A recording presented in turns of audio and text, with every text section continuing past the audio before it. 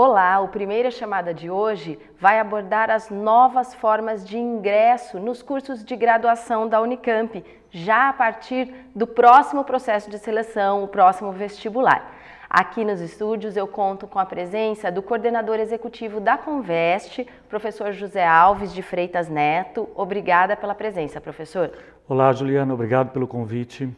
O professor José Alves, além de coordenador da Conveste, né, que é a Comissão de Vestibulares da Unicamp, é também o presidente do GT, o grupo de trabalho que estudou todas as possibilidades aí de ingresso.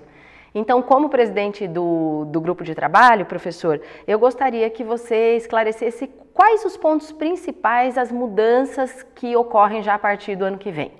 Então, para o vestibular de 2019, nós teremos algumas mudanças por conta de uma deliberação do Consul em 30 de maio, na mesma sessão que definiu eh, a adoção das cotas étnico-raciais. Na verdade, existia uma série de demandas dentro da universidade para que nós pudéssemos ter mais de um sistema de ingresso, mais de um sistema eh, de acesso, de admissão aos nossos cursos de graduação. Ora, Considerar mais de um acesso significa que nós teremos uma possibilidade um pouco mais democrática. Então, nesse sentido, o, o GT trabalhou muito nesses últimos dois meses em torno de algumas propostas que eu posso sintetizar. Na adesão ao SISU, onde nós passaremos a oferecer 20% das nossas vagas pelo, usando a nota do Enem. Né? A importância desse sistema é exatamente poder ter uma abrangência nacional, já que o Enem tem uma, uma base de dados de aproximadamente 5 milhões de candidatos. Né? Então, nós vamos oferecer 20% das nossas vagas para determinados perfis de estudantes, escola pública e optantes por cotas étnico-raciais, para a população preta e parda.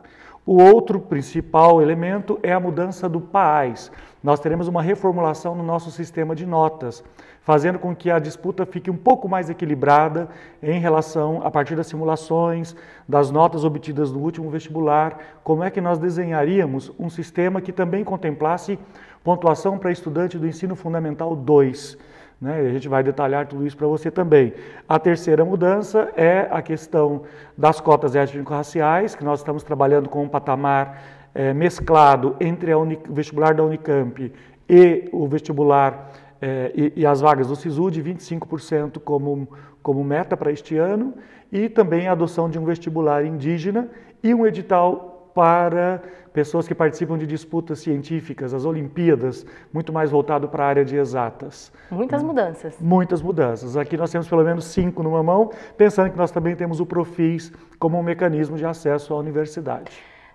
Antes da gente detalhar cada uma dessas alterações dessas propostas, né, que, que, estamos entendendo que são propostas que vão aí é, é, circular as unidades, né, professor? Mas antes de que você possa explicá-las, é, eu gostaria é, de, de, dizer aí para quem nos acompanha, como é que foi composto esse grupo de trabalho, né? Qual que é a representatividade desse GT, né? Quem é que participou dessas discussões?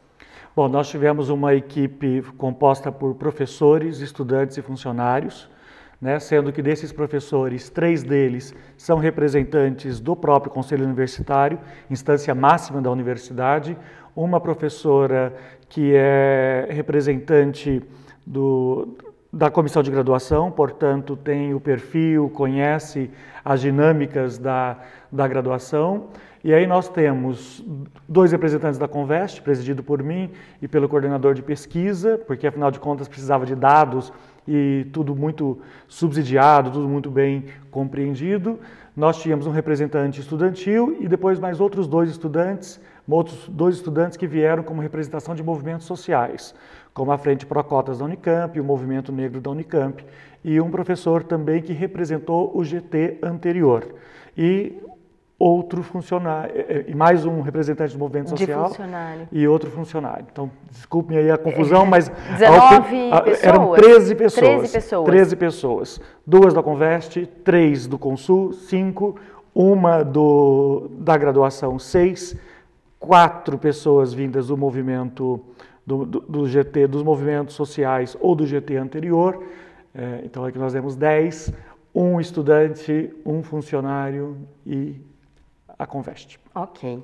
É, e as discussões foram acaloradas? Olha, houve de tudo. É evidente que é um tema apaixonante, é um tema que as pessoas têm visões, por mais que haja um caminho convergente e já não se estava mais discutindo se queríamos ou não cotas, porque isso já é uma decisão tomada pelo Conselho Universitário, você tinha algumas discussões sobre mecanismos A, B ou C e considerando o que seria o melhor sistema dentro do que a Unicamp iria abrir. E o tamanho, o, né, o tamanho. Dessa, dessa, dessa cota, né, professor? Exatamente. E aí nós pensando um pouco do que nós já temos na realidade atual da Unicamp, que 22% dos estudantes pelo PAI já são autodeclarados pretos, pardos e indígenas, então nós demos um pequeno salto de 25% porque há uma grande disparidade nos cursos, porque agora a, a cota ela será aplicada por curso.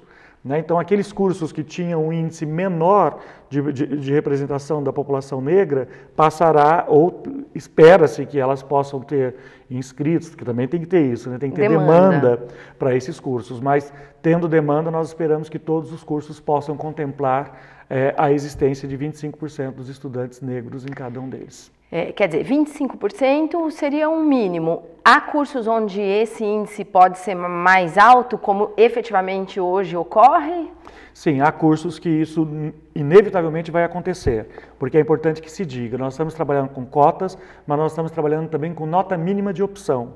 Ou seja, aqueles estudantes que tiverem o desempenho dentro da nota mínima de opção acima, nós não temos por que puni-los diante disso. Ou seja, pode ser que algum curso tenha uma demanda maior e, de fato, nas nossas simulações nós temos uma variação entre 21%, que é o curso com menor presença de população preta e parda, até 40% com o curso, é um curso noturno que vai chegar com esse percentual. Adotando esse novo modelo. Adotando esse novo modelo. Uhum. Simulando em cima das notas obtidas na última edição do vestibular. Certo. Bom, por enquanto aqui nós estamos falando das cotas, que é a reserva de vagas. Quer dizer, essa população já teria a vaga garantida, né? Isso. É, tem que se inscrever no vestibular como uh, opção cotas. Tem que se inscrever no vestibular com, com opção cotas, que a gente vai detalhar para o vestibular de 2019. E, e, haverá uma equipe que vai acompanhar o ingresso desses estudantes, a permanência desse uhum. público na universidade, a questão aí da autodeclaração? Sim, vai ser criada uma secretaria de acompanhamento da diversidade é, e de promoção da equidade racial e social dentro da universidade e que ela vai acompanhar e que ela vai instrumentalizar a, a, a pró-reitoria de graduação para que os estudantes se sintam acolhidos. Porque a política de ingresso, a política de acesso, ela não vai ser eficaz apenas alterando o sistema de ingresso. Ela tem que, mais do que garantir a presença dessa população dentro da Unicamp, nós temos que garantir a permanência desses estudantes e o pleno desenvolvimento das suas, é, das suas capacidades, do seu processo de formação acadêmico. Uhum. Agora, em relação aos indígenas, né? Eu noto que você tem dito aí a população preta e parda, a nomenclatura do IBGE, né? É, para a população negra, né? E, e não, não, falamos, quer dizer, dissemos que vai haver um vestibular específico para indígenas, então esses não entrariam nesses 25% da, das cotas? Exatamente, nós vamos criar um outro vestibular, um vestibular indígena, é, cujos saberes, cujas peculiaridades das escolas interculturais, das escolas é, de formação indígena têm saberes um pouco diferenciados. Nesse sentido, nós estamos fazendo, conhecendo experiências de outras universidades que fazem esse vestibular indígena.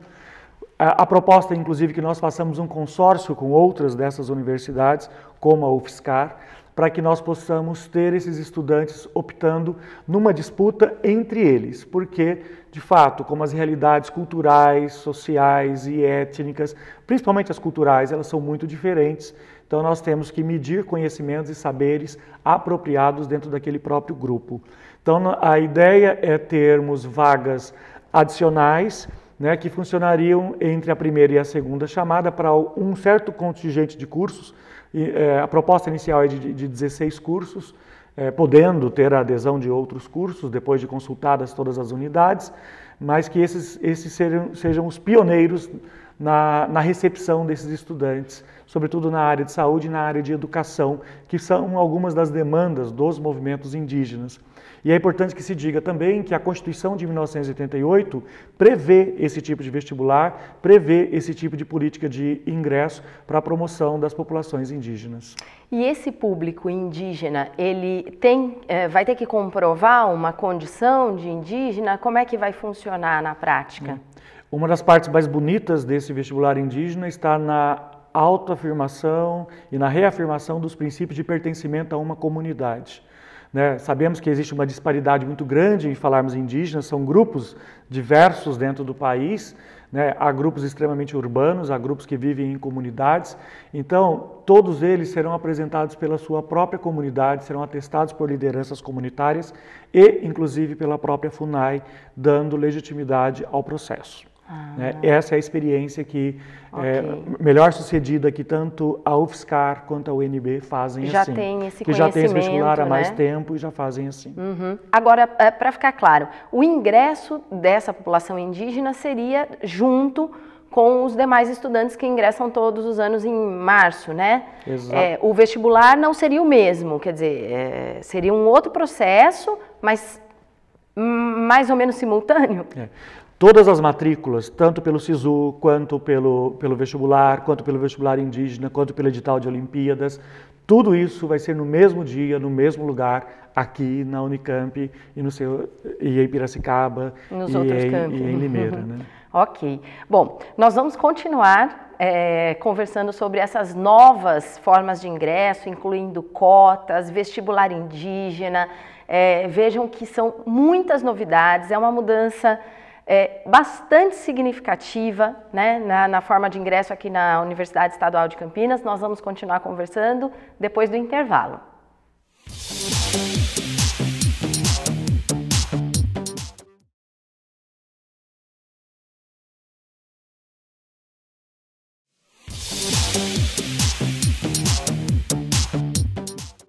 De volta com a primeira chamada. A Unicamp, a partir do próximo vestibular, vai ter cotas, vai ter vestibular indígena, vai ter vagas pelo SISU, enfim, são muitas alterações aí na maneira de ingressar na universidade, nos cursos de graduação, é, em busca aí de uma maior equidade né, no acesso ao ensino superior. Aqui nos estúdios, nós estamos conversando com o coordenador executivo da Conveste, professor José Alves de Freitas Neto, que foi o que é, né, ainda o presidente do GT Cotas, né, GT Ingresso, né, professor?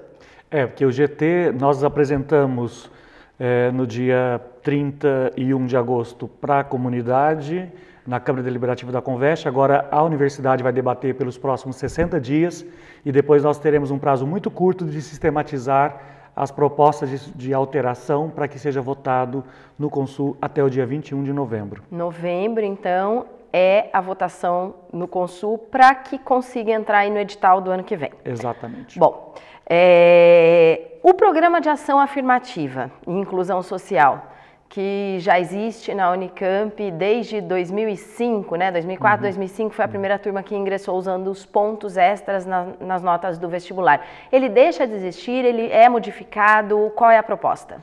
Então, ele não vai deixar de existir, porque afinal de contas ele foi extremamente é, bem sucedido, é um sistema bastante inteligente do ponto de vista de promover a inclusão social e uma ação afirmativa para os estudantes de escola pública. Ele é mais inteligente do que um sistema de cotas, porque o sistema de cotas seria fixo.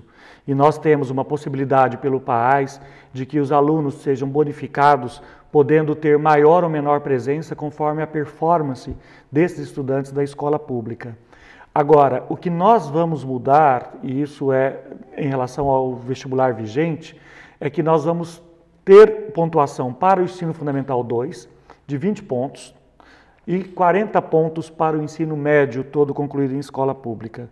Ou seja, na, no atual momento nós temos 90 pontos. No limite nós vamos passar para três somatórias, para três possibilidades, 20 pontos ou 40 pontos ou até mesmo a somatória de 60 pontos. O que, que isso representa? Representa que nós vamos diminuir, mas ao mesmo tempo nós vamos assegurar que a qualidade dos estudantes, que o rendimento, que a performance dos estudantes seja uma performance mais equilibrada. Por quê? Uma média de aprovação da Unicamp é de 500 pontos. Quem tinha 90 pontos, mais 30 pontos por bonificação é, étnico-racial, já partia na segunda fase com 120 pontos. E isso criou algumas disparidades em alguns cursos. Né? Então, para evitar isso, nós fizemos todas as simulações possíveis, todos os estudos, para poder chegar a uma bonificação que seja bastante adequada e mais próxima do espírito do país. Que o espírito do país é na divergência, né, ali naquela zona limítrofe, nós estamos optando pelo estudante da escola pública. Mas a Unicamp quer e vai continuar buscando os melhores estudantes em todos os sistemas de ensino. Né? Então, nesse sentido, e com as simulações que fizemos para esses 20 pontos e 40 pontos, nós vamos ter aproximadamente de 46 a 48% dos estudantes de escola pública. Havendo maior, candidato, maior número de inscritos de escola pública, esse número pode crescer, porque, consequentemente, o rendimento deles, né, na competição, o rendimento acaba também sendo uma, maior. E aí os pontos, então, ficam focados para esse público de escola pública, seja do ensino médio e ou do ensino fundamental 2, e deixa de haver essa pontuação, no caso do PAIS, para população preta e parda e indígena, né, que vai estar contemplado num outro Exatamente, porque ele, porque uma das reivindicações do movimento que levou à criação das cotas é porque não se via representado dentro do PAIS, que de fato o PAIS promoveu a inclusão de estudantes de escola pública, mas não produziu na mesma velocidade a inclusão da população preta e parda ou mesmo indígena dentro da Unicamp. Ok, e aí talvez resida a questão interessante desse novo modelo, né, professor, de mesclar né, várias alternativas aí de ingresso e deixar tudo mais diversificado, mais diverso, né? É, os estudos internacionais sobre políticas de acesso a qualquer universidade no mundo indicam que, havendo é, alternativas, você melhora, porque tem alunos que têm performances específicas em áreas específicas. E, ao mesmo tempo, esses alunos também são importantes para determinados campos de saber, para determinados campos de conhecimento, para a produção científica. O modelo do vestibular, ou o modelo exclusivamente do Enem, eles são modelos que ficam muito restritos, fechados, né? restritos, engessam de alguma forma. Então, permitir que o aluno tenha a oportunidade de ir bem no Enem, né, ou ir melhor no vestibular, ou hipoteticamente concorrer por um sistema de edital de vagas olímpicas, vai, vai ajudar a compor um quadro que eu acredito que será muito melhor do que o estudante que nós estamos tendo hoje. Isso que a Unicamp espera, né? Hum, Agora, é eu fico imaginando aqui qual foi o desafio para vocês do grupo de trabalho, né, que estudou aí todas essas propostas, é, chegar aí nesses percentuais. Vamos ter tanto aqui, ali do PAIS, vamos aumentar ou diminuir os pontos, né? É, do, via SISU vão ser, vai ser tal percentual. Como é que foi essa matemática? Então, na questão do PAIS, o material que está descendo para as unidades, para, que vão debater, vão debater, discutir e sugerir aperfeiçoamentos, é, nós tivemos, nós estamos acompanhando, nós estamos enviando junto com eles as notas e os rendimentos do sistema sem bonificação, com a bonificação e com a bonificação que nós estamos propondo. Simulado. Simulado. Daí então você vai ter clareza de que por que chegamos àquele número.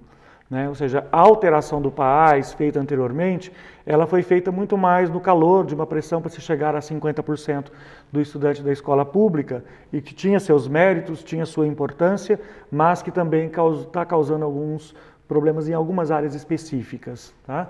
Então, a, a, a, matemática aí, ou a, a combinação de números, ela foi a partir de dados e muitos estudos. No caso do SISU, nós estamos propondo 20%, considerando duas, e especificamente para estudantes ou que venham de escola pública, para 10% dessas vagas serão para estudantes de escola pública, 5% para estudantes que sejam de escola pública e autodeclarado preto pardo, e outros 5% para pretos e pardos de sistemas privados ou de outros sistemas de ensino. Por que só neste caso e não na ampla concorrência? Para ampla concorrência, o nosso vestibular é mais do que satisfatório, mas nós temos uma inscrição e uma participação menor de população preta e parda e uma população menor de estudantes de escola pública. Então, como também a prova, porque não é só simplesmente dizer que nós oferecemos isenção, até já fizemos claro. um programa uhum. aqui, mas uma cidade muito pequena, às vezes o transporte, a logística não é fácil, então o aluno poderá concorrer também dentro do SISU.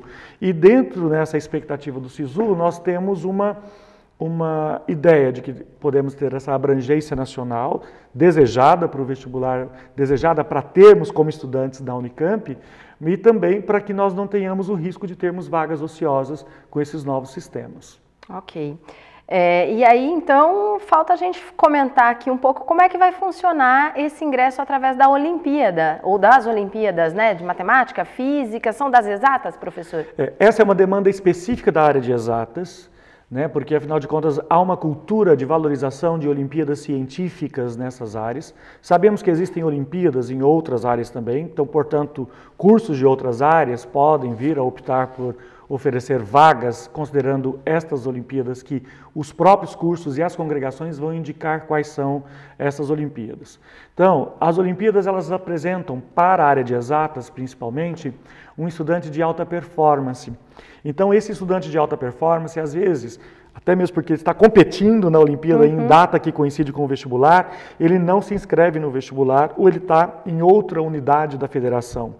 Então, se você pensar a abrangência da Olimpíada Internacional de Matemática, a Olimpíada Brasileira de Matemática da Escola Pública, ou a de Física, ou outras Olimpíadas, porque, repito, as Olimpíadas elas, elas têm um critério é, muito transparente, porque elas são disputas, e para nós, inclusive, indica também nesse momento de escassez de recursos e tudo mais, em geral, os premiados com as Olimpíadas na área de exatas, eles já ganham bolsas de estudo desde a iniciação científica.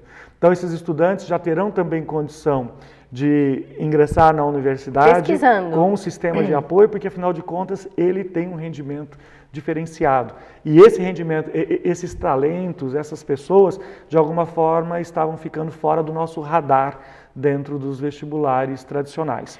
Então, esse será um edital, que, repito, esse edital será público, pelos mesmos critérios de transparência. Os editais vão indicar quais são as Olimpíadas, qual é o peso para determinado tipo de medalha, certo. e ele será votado e será montada uma comissão que também contará com um percentual de notas vindas do histórico escolar dos estudantes. Ou seja, não será simplesmente, ah, ganhei a Olimpíada e entrei. Não, você tem que atender um certo um conjunto de fatores, mas que, que que desobriga esse estudante de fazer o vestibular tradicional. Agora, só um, um, detalhe importante: eles não tiram vagas do vestibular, quer dizer, eles não estão competindo com todos os outros grupos que nós citamos aqui, né? Não, eles estão entrando por um sistema que nós vamos chamar, para ficar mais fácil a comunicação, como sistema de overbooking. da primeira para a segunda chamada, ele vai entrar, ou seja, o aluno que disputou a primeira, a primeira chamada, ele passou, ele tem a vaga. Né? Só que, como a gente sabe, sempre sobram vagas para segunda, terceira, quarta. Sim. Então, da primeira para a segunda, estes, estes cursos que optarem por, por oferecer vagas e esses candidatos que tenham sido escolhidos pelo edital de vagas olímpicas já ingressam aí. Então, ele vai subtrair das vagas chamada, das chamadas posteriores, da segunda, terceira e assim por diante. Uhum.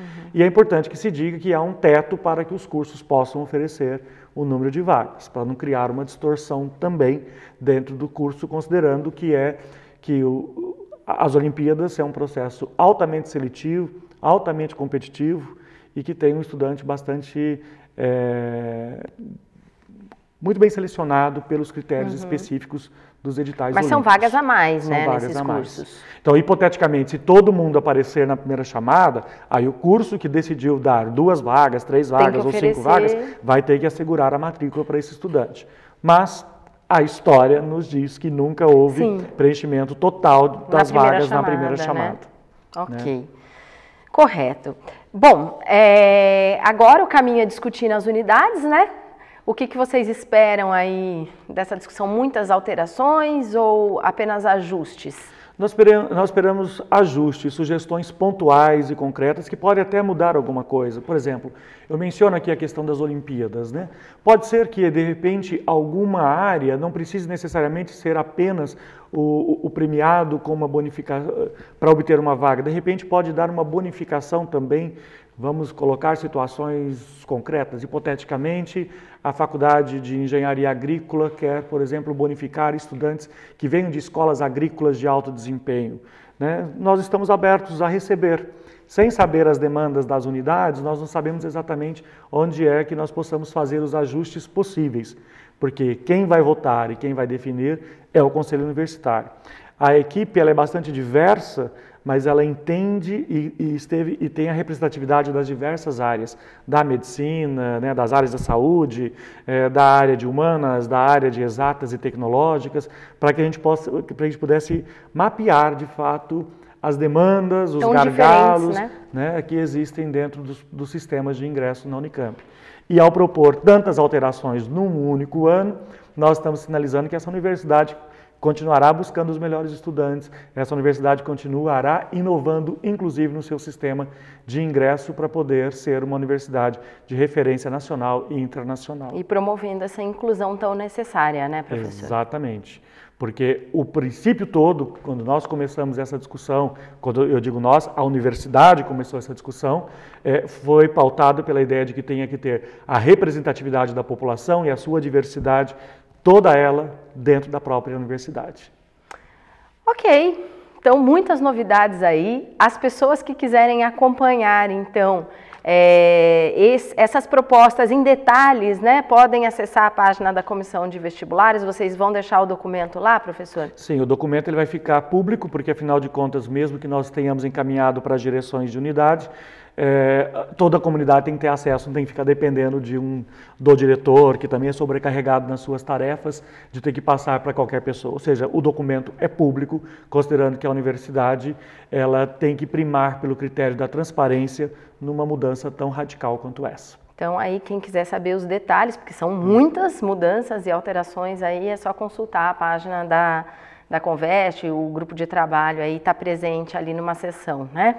Eu agradeço a presença, agradeço as informações, os esclarecimentos que não foram poucos, né? E numa outra oportunidade, quem sabe lá em novembro a gente volte a falar aí da aprovação da proposta. Tá certo, voltaremos Obrigada. a discutir e obrigado pelo convite. Nós ficamos por aqui e até o próximo programa.